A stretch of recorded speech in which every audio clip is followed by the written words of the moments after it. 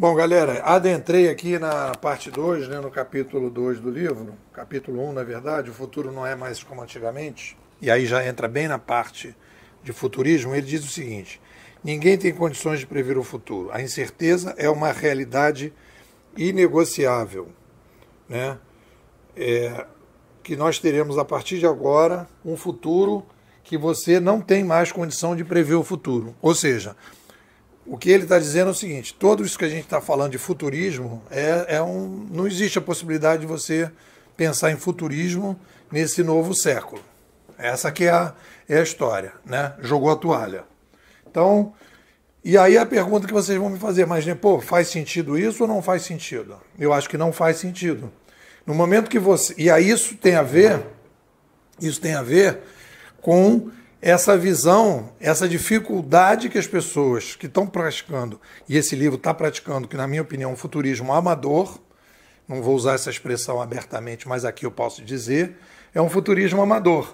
Cada capítulo do livro, ele vai destrinchando um autor e ele vai, tudo bem, a Revolução Industrial, mas tem coisas que ele diz, determinadas é, partes do livro, que o cara talvez não tenha chegado à Revolução Industrial e ele usa aquilo para reforçar a tese da Revolução Industrial. Não há uma preocupação de coerência de conceitos, articulação de conceitos, né? não há uma coerência entre é, def defesas de coisas que ele está dizendo, né? num determinado momento. Mas tudo bem, isso aí já foi dito, todo mundo está sabendo e a gente está trabalhando em cima dos insights. Então ele está dizendo joga no lixo essa história de pensar em futuro, porque não, não dá para pensar em futuro nesse novo século. E é o que eu digo.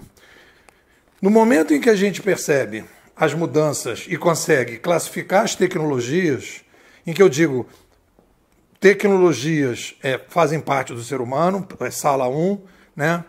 sempre fizeram, é, máquina a vapor é tecnologia, é, locomotiva é tecnologia, não existe essa história de revolução tecnológica, as tecnologias nas empresas não estão sendo trazidas pela Microsoft, pela Oracle, elas estão nas empresas desde o dia que a gente começou a sair das cavernas. Né? Então, esquece tudo isso, a gente está falando de diferentes tecnologias em diferentes momentos da história do ser humano. Tecnoespécie, que é uma visão muito mais próxima do que é a realidade. Ok. Aí, a partir desse momento, quando a gente vai classificar as tecnologias, a gente vai ver a revolução midiática. E a revolução midiática é um fenômeno social recorrente que existem uma série de tendências que vão ser apontadas. Quando a pessoa não faz essa revisão e não consegue perceber que a gente está vivendo mais uma revolução e que existe antropologia cognitiva que pode apontar caminhos, o cara vai jogar a toalha. Porque ele vai dizer: ah, não, amanhã vai surgir uma tecnologia que eu não conheço, não sei o impacto dela, vai mudar tudo. Aí ele jogou a toalha, não tem futurismo. Né? Não tem futurismo. Então, como ele não consegue projetar, além de dizer que existe uma revolução industrial, ele quer jogar o futurismo para no lixo.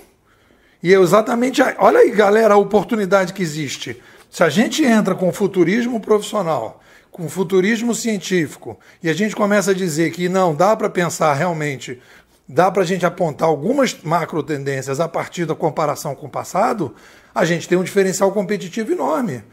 Esse Salib é um cara que criou o HSM, é um cara que está aí com esse livro, quinta edição, e está dizendo, joga, joga o futurismo no saco.